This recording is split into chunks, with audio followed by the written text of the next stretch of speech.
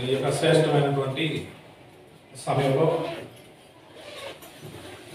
దేవుని యొక్క శ్రేష్టమైన మాటలను మీతో కలిసి పంచుకోవడానికి దేవుడు నాకు ఇచ్చినటువంటి గొప్ప అవకాశాన్ని బట్టి యేసుక్రీస్తు ద్వారా తండ్రి అయిన దేవునికి నా కృతజ్ఞతలు తెలియజేసుకుంటున్నాను.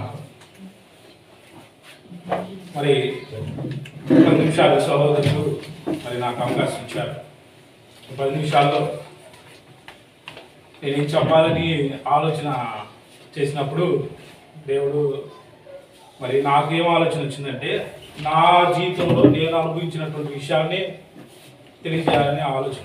ఏదో ఒకరు చెప్పిన ఇది అవి మన హృదయంలో బట్టి బట్టి కాపీ నాలెడ్జ్ లాగా ఇతరులకి చెప్పడంలో సంతృప్తి అనేది ఉండదు ఫలింపు అనేది ఉండదు. కానీ మన అనుభవపూర్వకంగా దేవుని యొక్క వాక్యాన్ని మనం అనుభవించిన దాన్ని ఇతరులకు పంచుకున్నప్పుడు చాలా శ్రేష్టంగా ఉండిద్దని నా మనసుకు అనిపించి పది నిమిషాలు నా అనుభవంలో దేవుని యొక్క వాక్యాన్ని పరిశీలించేటప్పుడు మరి దేవుడు నాకు కలిగించినటువంటి అనుభవాన్ని కొద్ది నిమిషాలు మీతో కలిసి పంచుకోవాలని ఆశపడుతున్నాను. మరి ముఖ్యంగా సహోదరుడు ప్రభాస్ గారు నాకు చాలా సుపరిచితులు. నిజంగా ఆయన వ్యాఖ్యానంని నేను విన్నప్పుడు తొలిసారి చాలా వాక్యం పట్ల దేవుని పట్ల చాలా ఆసక్తి అనేది నా ఉదయంలో అది చెప్పడానికి వీలు పడినంతగా చెప్పడానికి వీలు పడినంతగా ఉంది ఆసక్తి దేవుడి పట్ల దేవుడి పట్ల చాలా అభిమానం గౌరవం ఆసక్తి అనేది పెంపొందించబడ్డాయి. లేఖనాలని సదావగాహన మనకి కలగాలని ఆయన చాలా ప్రయాసపడుతున్నాడు. మరి ఈ సమయంలో ప్రభు నామంలో ఆయనకి నా వందనాలు తెలియజేసుకుంటున్నాను. ప్రకటన గ్రంథం చివరి అధ్యాయం ఇరవై రెండవ అధ్యాయం పద్దెనిమిదవ వాక్య భాగాన్ని ఒకసారి జ్ఞాపకం చేసుకుంటాం ప్రకటన గ్రంథము ఇరవై రెండు అధ్యాయం పద్దెనిమిది వాక్యం ఈ గ్రంథమందున ప్రవచన వాక్యములను విను. ప్రతివానికి నేను సాక్ష్యమిచ్చినది ఏమనగా ఎవడైనను వీటితో మరి ఏదైనాను కలిపిన ఎడవ ఈ గ్రంథంలో రాయబడిన తెగుళ్ళు దేవుడు వానికి కలుగ ఎవడైనను ఈ ప్రవచన గ్రంథమందున్న వాక్యములలో ఏదైనాను తీసివేసిన ఎడల దేవుడు ఈ గ్రంథంలో రాయబడిన జీవవృక్షంలోను పరిశుద్ధ పట్టణంలోను వానికి పాలు లేకుండా చేయను వాక్యంలో ఏమైనా కలిపినా తీసేసిన అక్కడ కొన్ని శిక్షలు కొన్ని దేవుడిచ్చే బహుమానాలు మనకి కనబడుతుంది. కలిపితేనేమో శిక్షలు. తీసివేసిన శిక్షలు. పరిశుద్ధ పట్టణంలో పావులు అనేది లేదు. అంటే దేవుని సన్నిధిలో దేవుడు నుంచి ప్రతిఫలం అనేది మనకి రాకుండా పోయే అవకాశం ఉంది. ఎప్పుడు గ్రంథంలో రాయబడిన వాటిలో కొన్ని కలిపిన వాటికి కొన్ని కలిపిన కొన్ని తీసేసి. ఒక చిన్న ఎగ్జాంపుల్ మనం చూద్దాం.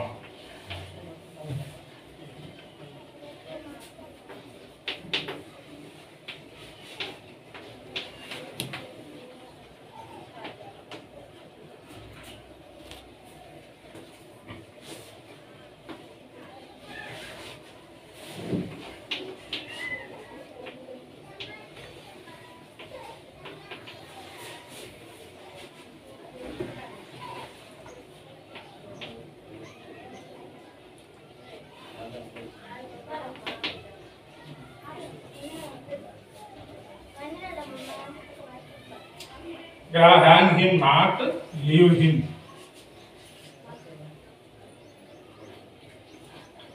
comma ఉంది చూసారా hang him not comma leave him దాని అర్థం ఏంటి హ్యాంగ్ హిమ్ నాట్ అతన్ని ఇమ్మంటే అతన్ని అతన్ని ఉరి హ్యాంగ్ అంటే ఉరి నాట్ అంటే వద్దు హ్యాంగ్ హిమ్ నాట్ అంటే అతన్ని ఉరి తీయ వద్దు లీవ్ హిమ్ విడిచిపెట్టండి లీవ్ హిమ్ అంటే విడిచిపెట్టండి.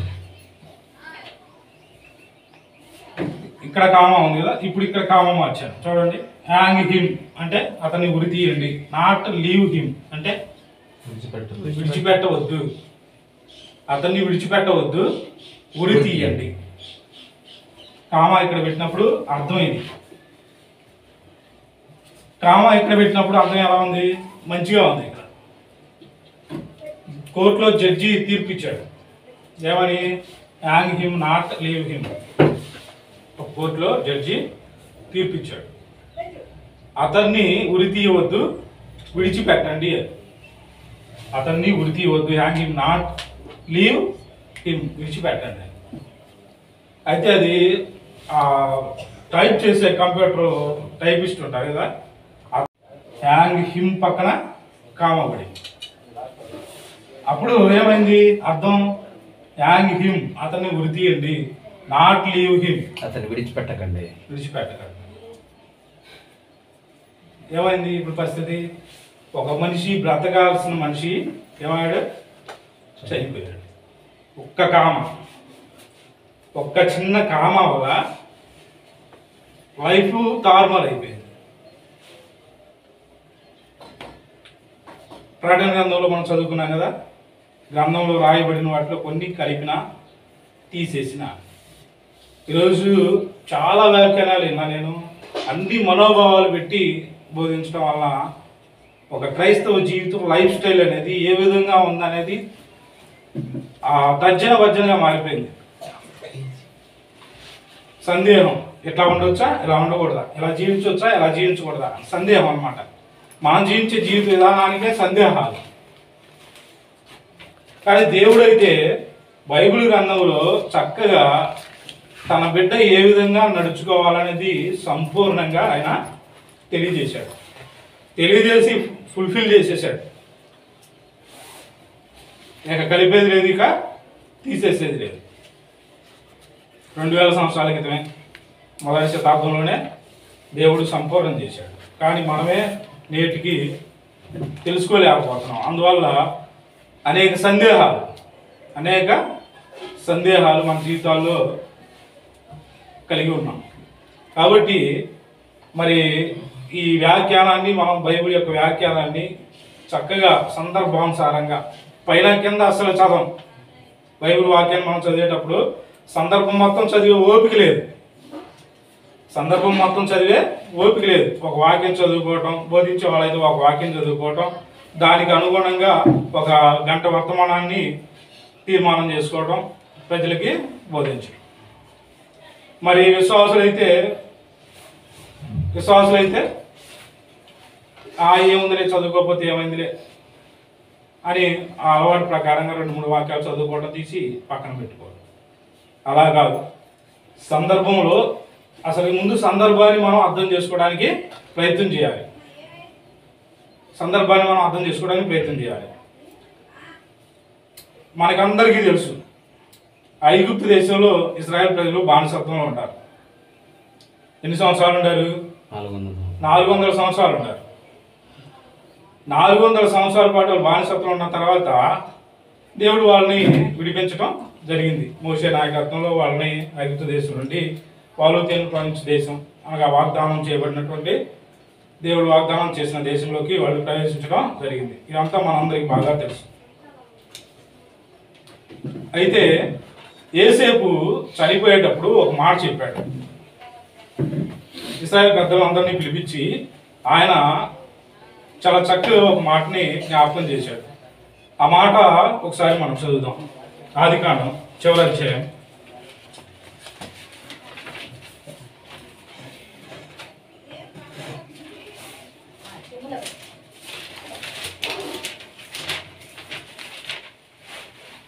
చివరి అధ్యాయము యాభై అధ్యాయం చివరి అధ్యాయం.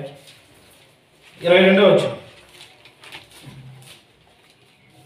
ఏసేపు ఆ, చదవండి ఇరవై నాలుగు వచ్చిన చూడండి. యాభై అధ్యాయం ఇరవై నాలుగు వచ్చిన నుంచి చదువుకున్నాం. యోసేపు తన సహోదరులను చూసి నేను చనిపోతున్నాను. దేవుడు నిశ్చయంగా మిమ్మల్ని దేవుడు నిశ్చయంగా. మిమ్మల్ని చూడవచ్చి ఈ దేశంలో నుండి ఈ దేశంలో నుండి తాను అబ్రహాము ఇస్సాకు తాను అంటే దేవుడు అబ్రహాము ఇస్సాకు యాకోబులతో ప్రమాణం చేసి ఇచ్చిన దేశమునకు మిమ్మల్ని తీసుకొని- దేశమునకు మిమ్మను తీసుకొని పోవడం తీసుకొని పోవునని చెప్పాను. తర్వాత మళ్ళా ఏసేపు దేవుడు నిశ్చయముగా మిమ్మల్ని చూడవచ్చును. ఈ రెండు రెండు సార్లు దేవుడు నిశ్చయంగా మిమ్మల్ని చూడటానికి వస్తాడు అనే మాట యేసు యేసేపు గారు చాలా చక్కగా గట్టిగా మాట్లాడాడు దేవుడు నిశ్చయంగా మిమ్మల్ని చూడటానికి వస్తాడు. ఎవరు వచ్చేది? దేవుడు. కానీ దేవుడు నిశ్చయంగా మిమ్మల్ని చూడటానికి వస్తాడు. వచ్చి ఏం చేస్తాడు? అబ్రహాం ఇస్సాకు ఆగోబులతో వాగ్దానం చేసినటువంటి ఆ యొక్క పాలు తేలు ప్రపంచ దేశానికి మిమ్మల్ని తీసుకొని వెళతాడు. ఎప్పుడు వచ్చాడు? ఎప్పుడు చేపట్టుకొని తీసుకెళ్ళాడు?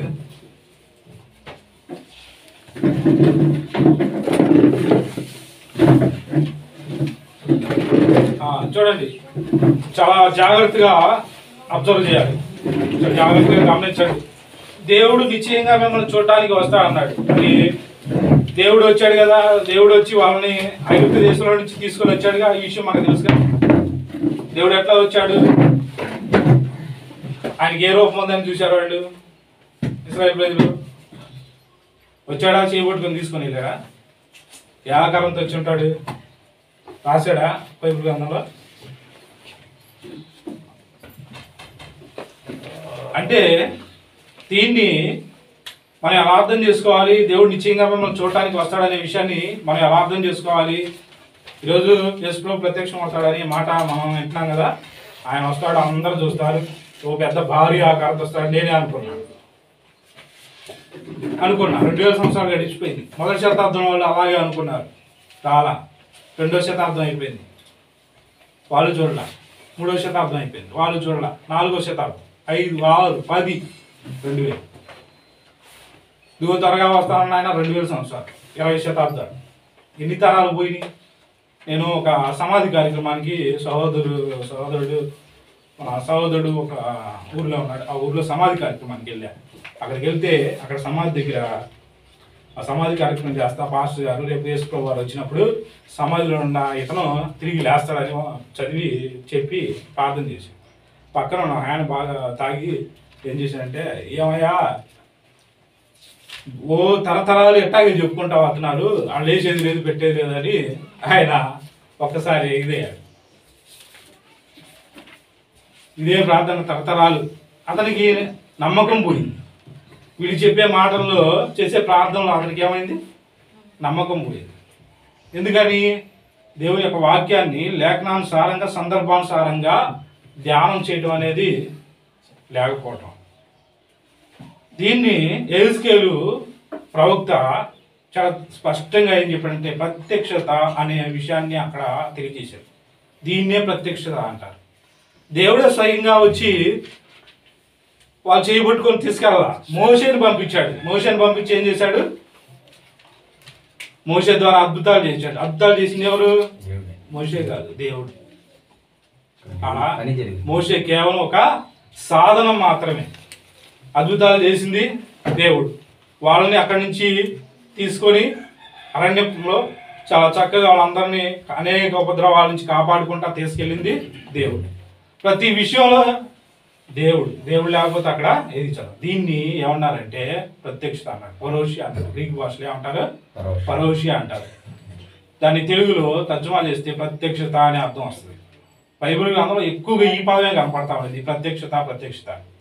రాగడ అనేది చాలా తక్కువగా కనపడుతుంది దీన్ని ఏసుకెలు ప్రవక్త ఏం చెప్పాడో చూద్దాం చూడండి. చదువుకొని ముగించుకుందాం.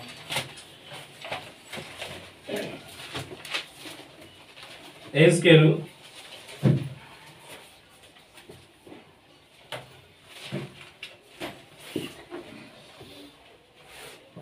ఇరవై అధ్యాయము. ఎస్కేలు ఇరవై అధ్యాయము. ఇరవై ఒకటో వచ్చి నుండి చదువుకుందాం. ఏస్కేలు గ్రంథం ఇరవై అధ్యాయము ఇరవై ఒకటో వచ్చి ఇక్కడ ఈ సందర్భం అంతా ఏంటంటే ఇస్రాయల్ ప్రజల్ని దేవుడు ఏ విధంగా అక్కడ ఐగుప్తు దేశం నుండి తీసుకొని వాళ్ళు వెళ్ళేటప్పుడు ఇజ్రాయెల్ ప్రజలు దేవుడి మీద తిరుగుబాటు చేస్తూ ఉంటారు. తడవ తడవకి ఏం చేస్తుంటారు? దేవుడి మీద తిరుగుబాటు చేస్తూ ఉంటారు. దేవుడి పట్ల అవిశ్వాసం కనబరుస్తూ ఉంటారు ఆ అవిశ్వాసంను తిరుగుబాటును చూసిన దేవుడు వాళ్ళని మధ్యలోనే అంతం చేయాలని దేవుడు ఆలోచించినప్పుడు మళ్ళా దేవుడు ఏం ఆలోచిస్తాడంటే ఆయన తన మా- తన ఆలోచనని పక్కన పెట్టి వాళ్ళని వాళ్ళకి వాగ్దానం చేసినటువంటి ఆ పాలు తీరని ప్రపంచ దేశానికి తీసుకెళ్ళాలని ఆయన మళ్ళా మంచి మనసు కలిగి ఏం చేస్తాడంటే మళ్ళా వాళ్ళని క్షేమంగా తీసుకెళ్ళడం జరిగింది. ఆ విషయాన్ని అక్కడ దేవుడు ఆ ప్రవక్త ద్వారా తెలియజేస్తున్నాడు. చూడండి ఇరవై ఒకటవ వచ్చిన అయినను అయినను ఆ జనులు ఆ జనులు ఆ జనులు సహా ఆ జనులు సహా నా మీద తిరగబడి నా మీద తిరగబడి తాను అనుసరించి తాను అనుసరించి తాను అనుసరించి బ్రతకవలనని ఆ నేను ఇచ్చిన నా కట్టడలను బ్రతకవలనని నేనిచ్చిన నా కట్టడలను నా కట్టడలను అనుసరింపకయు నా విధులను గైకొనక నా విధులను గైకొనకయు. నేను నియమించిన విశ్రాంతి దినము నేను నియమించిన విశ్రాంతి దినములను అపవిత్రపరిచడు అవ- గనుక అపవిత్రపరిచి గనుక వారు అరణ్యములో వారు అరణ్యములో ఉండగానే ఉండగానే నేను నా రౌద్ర నా రౌద్రాగ్ని నేను నా రౌద్రాగ్ని వారి మీద పొమ్మరించి వారి మీద కుమ్మరించి నా కోపం వారి మీద నా కోపం వారి మీద తీర్చుకుందునని అనుకుంటుంది అనుకుంటుని. అయితే అయితే నేను ప్రత్యక్షమైన ఈ మాట చేసుకో ఏమన్నాడు అయితే అయితే నేను ప్రత్యక్షమైన నేను ప్రత్యక్షమైన అన్ని జనుల మధ్య నా నామమునకు నా నామమునకు దోషణ కలగకుండానట్లు దూషణ కలగకుండానట్లు ఏ జనుల నుండి వారిని రక్షించుదునో ఏ జనుల నుంచి రప్పించాడు? ఐగుప్తు దేశంలో నుండి వాళ్ళని తీసుకొని వచ్చాడు. ఇప్పుడు ఐగుప్తు దేశ ప్రజలు వాళ్ళందరం చంపేస్తే దేవుడి నామం దూషించబడింది కదా? దేవుడు వారిని రక్షిస్తానని చెప్పి తీసుకెళ్ళి శిక్షిస్తాడు శిక్షించాడని చెప్పేసి దేవుడిని దూషిస్తారని చెప్పి దేవుడు ఏం చేశాడు? ఆ యొక్క ఆలోచనని విరమించుకున్నాడు. విరమించుకొని వాళ్ళకు వాగ్దానం చేసినటువంటి దేశంలోకి తీసుకున్నాడు. ఇక్కడ ఏమన్నాడు అయితే నేను ప్రత్యక్షమైన అనే మాట ఉపయోగించాడు. చూడండి. అయితే నేను ప్రత్యక్షమైన. ఐగుప్తు దేశంలో దేవుడు ప్రత్యక్షమయ్యాడు. తన ప్రజల బాధలను చూసి వాళ్ళని విడిపించడానికి దేవుడే స్వయాన దిగి వచ్చాడు. దీన్ని మనం అర్థం చేసుకోవాలి. ఆకలితో ఉన్నాం ఆహారం లేదు. ప్రార్థన చేశాం. దేవుడు ఏం చేస్తాడు ఇప్పుడు? పైనుంచి ఒక బస్తా బీ బస్తా తీసుకొచ్చి మన ముందు పెట్టి ఇదిగో అక్కడ. దేవుడు బా- బీ బస్తా తీసుకొచ్చి అని చెప్పేసి తినాకడ అలా కాదు దేవుడి యొక్క ప్రత్యక్షత ఎలా ఉండిద్దంటే ఆయన ఏదో విధంగా తన బిడ్డల్ని సేవ్ చేస్తాడు. దీన్నే ప్రత్యక్షత ఈ విషయం తెలుసుకున్నాక దేవుని యొక్క ప్రత్యక్షతలు ఎలా ఉంటాయా అని అర్థమైంది. లైఫ్ స్టైల్ అనేది మార్చబడింది. కాబట్టి దేవుని యొక్క వాక్యాన్ని సరిగా అర్థం చేసుకోవడం అనేది చాలా ప్రాముఖ్యమైన విషయం. సందర్భాన్ని ఓపికగా చదువుకోవాలి ధ్యానించాలి. లేకపోతే ఏమైందంటే ఇదే పరిస్థితి. ఉరి తీయొద్దని జడ్జి చెప్తే కామ ఏం చేసింది? తీయించింది అదే పరిస్థితి. నిత్య జీవాన్ని పొందుకోవాలని ఆశపడతా మనం వెళ్తున్నాం కానీ చివరి ఎటు పోతున్నా నిత్య నాశనం వైపే ప్రయాణం చేస్తున్నాం. కాబట్టి మనం దేవుని యొక్క వాక్యాన్ని సదావగాహన సదావగాహన కలిగే విధంగా మనం దేవుని యొక్క వాక్యాన్ని ధ్యానించాలి. మరి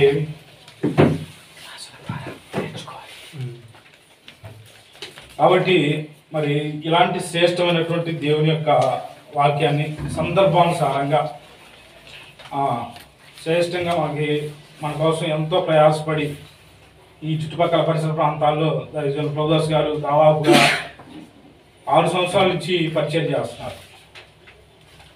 ఆరు సంవత్సరాల పరిచర్య ఫలితం ఈరోజు నాకు కనపడతా ఉంది. నేను చాలా సంతోషిస్తున్నాను తప్పకుండా దేవుడు ప్రతిఫలాన్ని కలగజేస్తాడనే విశ్వాసంతో పరిచర్యని ప్రారంభించడం జరిగింది. అనేకులు దేవుని యొక్క వాక్యాన్ని ఆ సందర్భానుసారంగా ఆలోచించడానికి ప్రయత్నం చేస్తున్నారని నేను చాలా హృదయపూర్వకంగా నమ్ముతున్నాను మరి ఇక్కడ క్లాసులు జరుగుతాయి ప్రతి నెల. మీతో పాటు అనేక మందిని ఈ యొక్క వాక్యానికి వారసులుగా చేయడానికి సందర్భానుసారమైనటువంటి వాక్యానికి వారసులుగా చేయడానికి మీరందరూ కూడా ప్రయత్నం చేయాలని ఆ ప్రభు నామంలో నేను మీకు విన్నవించుకుంటున్నాను. అలాగే మరి సంపూర్ణ లేఖ నెరవేర్పు వచ్చినటువంటి సత్యాలను ఇంకా అనేకమైన విషయాలు మీరు తెలుసుకోవడానికి మరి ముందుకు రావాలని కూడా కోరుకుంటూ నాకు ఇచ్చినటువంటి చిన్న అవకాశాన్ని బట్టి సోదరులు మాత్రం తెలియజేస్తాను మాట్లాడతాను మంచిది.